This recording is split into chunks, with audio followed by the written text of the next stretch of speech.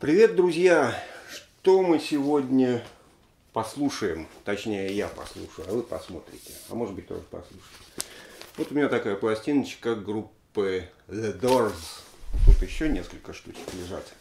Невиданных, на самом деле, может быть, многими. Это концерты, бутлоги, так называемые The Doors.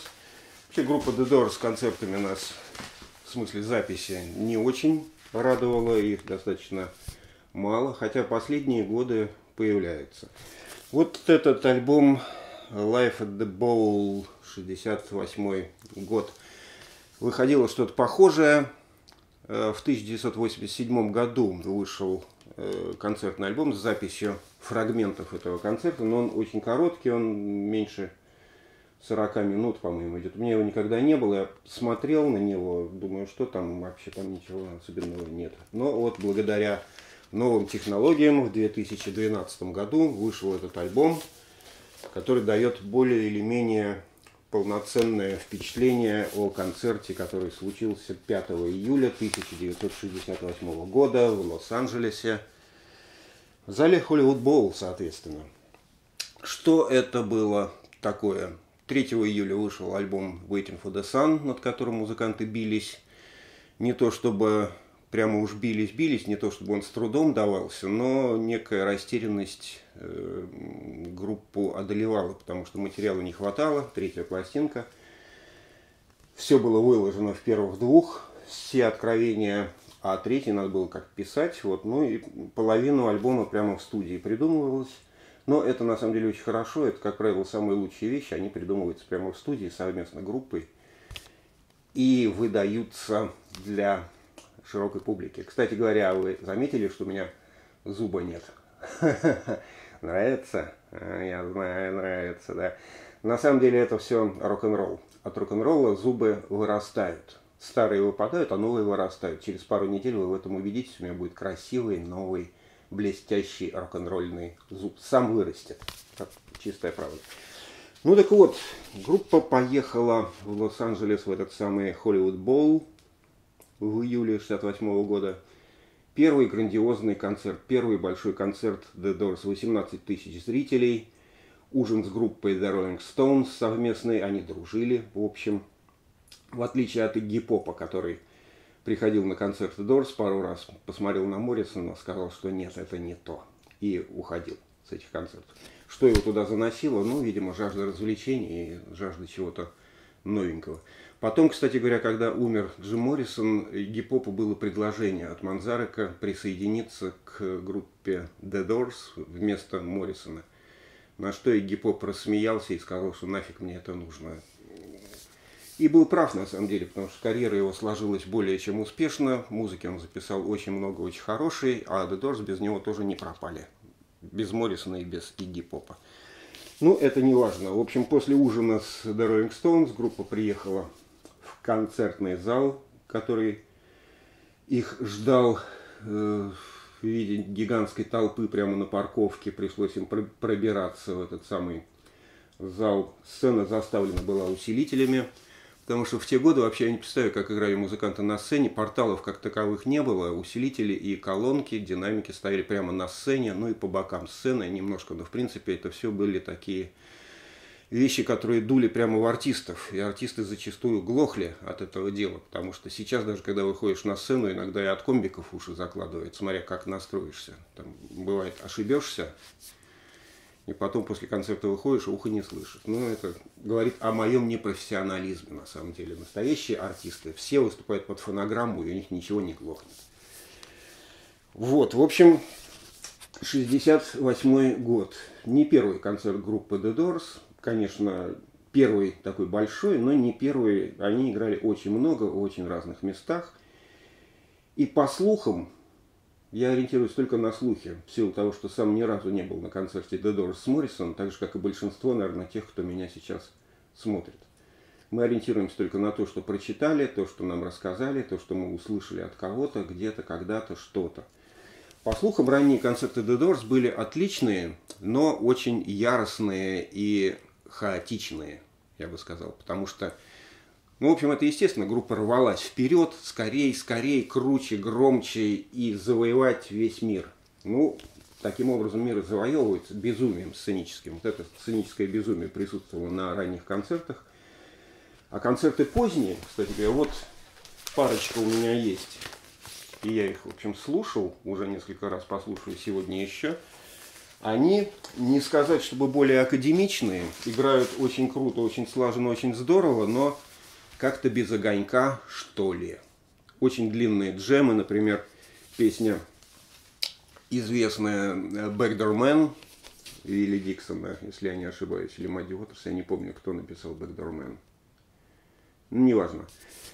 Здесь она играется две с половиной минуты, а вот на этих пластинках она играется минут по 10, по 15. То есть такие довольно бессмысленные джемы – отчаянным поклонникам The Doors это наверняка интересно, но а не отчаянным, таким как я, например, я спокойный поклонник The Doors, я не, не, не покрываюсь потом от э, прослушивания этой музыки, ну, хотя она мне нравится. Ну, вот такие бессмысленные длинные концертные джемы, они, ну, не знаю, на концерте, может быть, это здорово, а слушать на пластинке не очень интересно. Потому что, чтобы играть импровизации, нужно быть, а, очень хорошо музыкально образованным человеком, что относится в том числе и к музыкантам группы Doors. Э, но, б, эти импровизации хорошо бы отрепетировать э, все-таки дома, по крайней мере, представлять, что мы будем играть. А с таким парнем, как Моррисон, иногда сложно было представить, что мы будем играть. Хотя, хотя вот эта пластинка, она шикарна. Она шикарна тем, что здесь есть и импровизации, и свобода на сцене, и потрясающая отрепетированность всего, что играется. Настолько все точно, настолько все на местах, и кажется, что начинается полное безумие, а потом раз на сильной доле вдруг это безумие обрывается и идет песня. Ну, все подготовлено заранее, в том числе и безумие тоже подготовлено. Начинается с э, интро, шоу, старт, интро, Моррисон – непонятно где, группа начинает играть When the Music's Over, играет Манзарек очень долго, очень долго играет вступление When the Music's Over. Потом страшный вопль Моррисона, видимо, он вышел, мы не видим этого, видимо, он вышел, появился страшный, дикий, звериный вопль, вруб барабанов, вруб всей группы, и понеслась When the Music's Over. Очень интересная штука, соло Кригера совершенно необычное в своей, ну, для Кригера обычное, для нас необычное, в своей манере он играет соло, замечательное. После крика «Until the end» Моррисон кричит «Until the end» и понеслась эта штука. Интересно слушать, 13 минут песня и не устаешь от нее, потому что очень, очень по-разному все происходит. В какой-то момент все затихают, остается один манзарок – играет басовый риф из двух нот. А потом публика взрывается и страшно ржет, свистит, топчет ногами, топочет, хлопает в ладоши. Видимо, Моррисон выкинул какой-нибудь кульбит на сцене. Перед выходом на сцену Моррисон закинулся кислотой, как пишут очевидцы. И кислота еще не начала действовать, он еще выдавал хорошие кульбиты, интересные, смешные.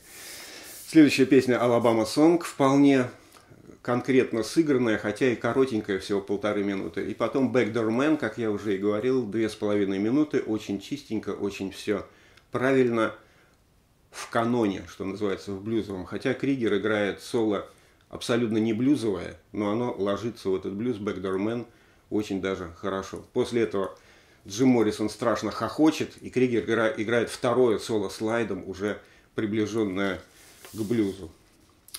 Вторая сторона начинается с The Wasp, Texas Radio and the Big Beats. Это Моррисон вещает что-то публике. Я не, не знаю, не переводил, что он там вещает. Наверное, что-то интересное. И Hello, I Love You начинается произведение. Тоже не длинная версия, две с лишним минуты, но достаточно зверская. Достаточно зверская. Песня переходит в Moonlight Drive, три с половиной минуты соло Кригера на слайд-гитаре очень интересно. Вообще все звучит очень здорово. Все звучит очень здорово, потому что концерт записан на восьмиканальный магнитофон, специально все подготовлено.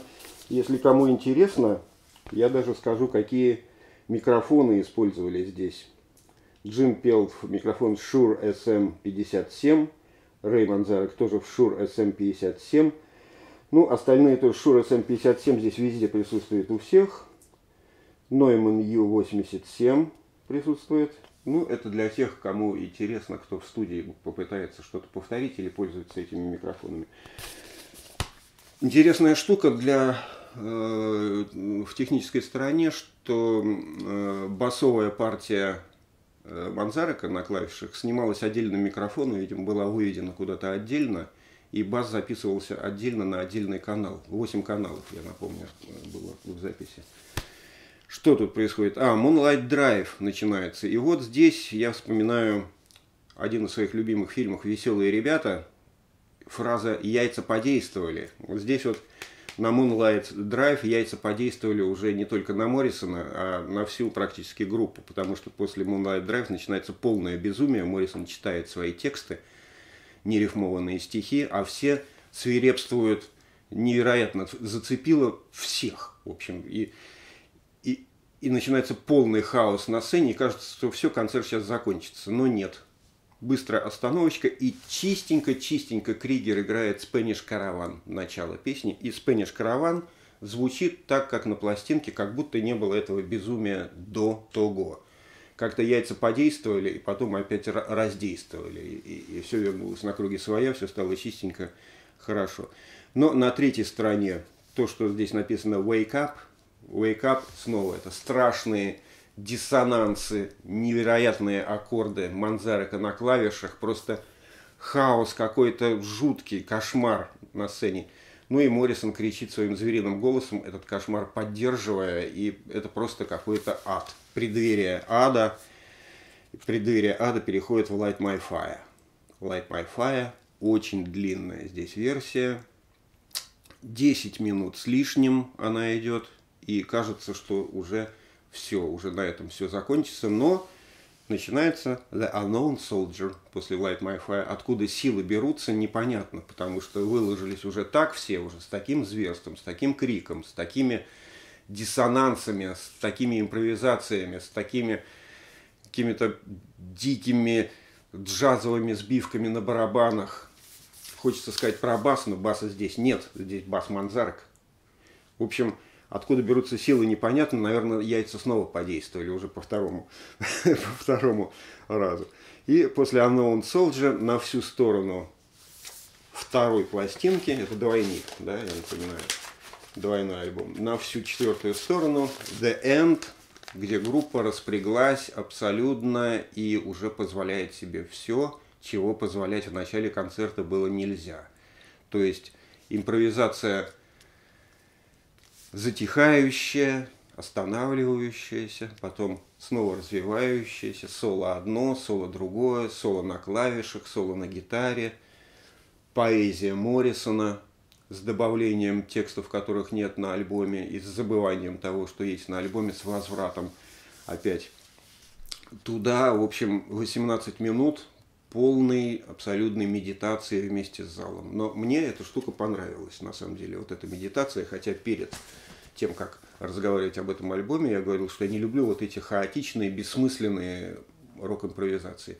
Здесь она хорошая, она осмысленная, потому что она вся в поэзии, вся в, в мыслях тех, которые несет Моррисон словами этой песни «The End», хотя достаточно сложная, потому что хорошие стихи, они всегда неким образом абстрактные, они не конкретные. Это мне говорил очень хороший мой учитель один. Ну, в общем, здесь все хорошо, ребята. Это очень хороший альбом, гораздо лучше, чем Absolutely Live, номерной альбом концертный. Это тоже номерной, но он уже номерной вот сейчас, 2012 год, я напомню. Ну, а об этих пластинках я расскажу как-нибудь в другой раз и, скорее всего, при встрече с Дмитрием Юрьевичем нашей. Ну а сейчас, что же, я пошел пить. Пока.